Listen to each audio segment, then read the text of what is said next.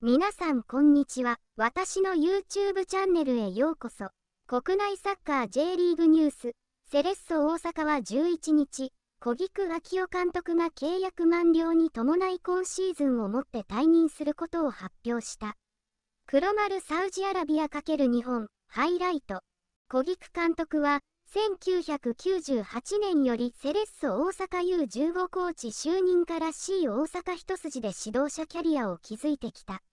2021年8月に契約解除となったレビー・クルピ監督の後任としてトップチームの監督に就任し、今季で4シーズン目を迎えていた。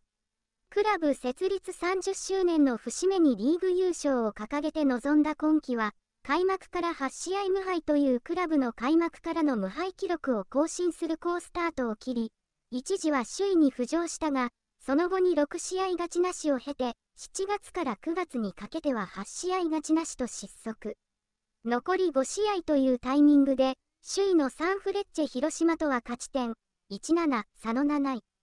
リーグ制覇の可能性が消滅していた。なお、小菊監督のコメントは最終戦終了後に改めて発表し、来シーズンの監督についても決まり次第お知らせするとしている。